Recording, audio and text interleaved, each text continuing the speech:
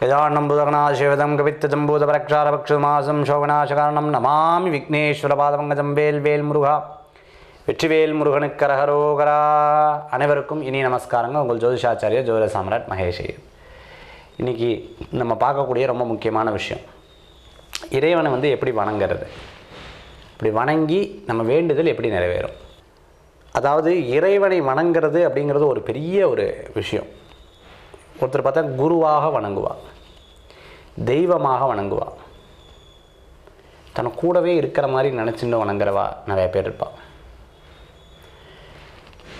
என்னுடைய அப்பன் முருகன்னு சொல்கிறவா நிறைய பேர் இருப்பாள் குழந்தை முருகன்னு சொல்லுவாள் இப்படி இறைவனை பல விஷயங்கள் நண்பராக கூட வழங்கலாமா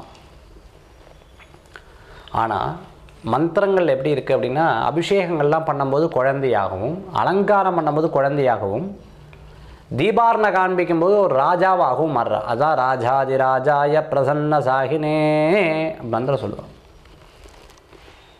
அப்போ அப்போ வந்து ராஜாவாக மாறக்கூடிய தெய்வம். இப்போ ராஜாட்ட நம்ம என்ன கேட்போம்? அவர்கிட்ட நமக்கு தேவையான விஷயங்கள் கோரிக்கைகள் கேட்போம்.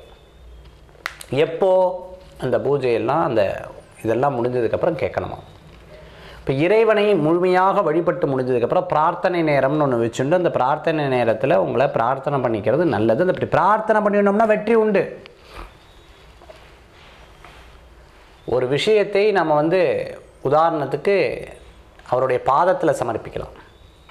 அவர் கையில் விட்டுட்டேன்னு சொல்லுவா அவர் பாதத்தில் விட்டுட்டேன்னு சொல்லுவாள் பேச்சு வாக்கில் சொல்லுவாள் அதெல்லாம் தெரிய தலைக்கு மேலே போயிடுத்து எல்லாம் இறைவனோட கையில் விட்டுட்டேன்னு வா இறைவன் அவன் பாதத்தில் சமர்ப்பிச்சுட்டு எனக்கு இன்னும் கவலை இல்லைன்னு சொல்லுவா. இந்த மாதிரி இதுதான் வேண்டுதல். இந்த வார்த்தையிலேயே வேண்டுதல் வந்துடுத்து.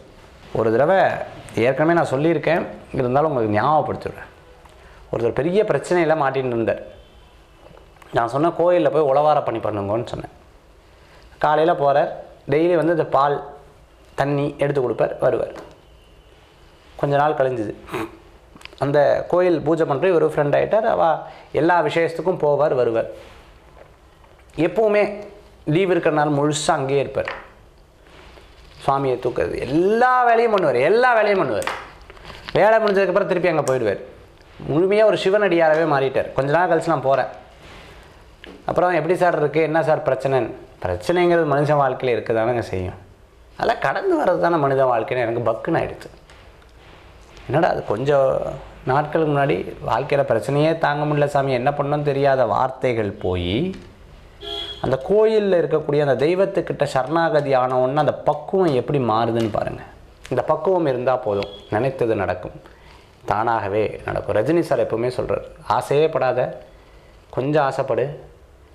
ஏன்னா ரெண்டையுமே சொல்கிறாரே எல்லாமே நடக்கும்னுவார் அப்படின்னா ஆசையே படப்படாது. கொஞ்சம் ஆசைப்படணும் அதில்.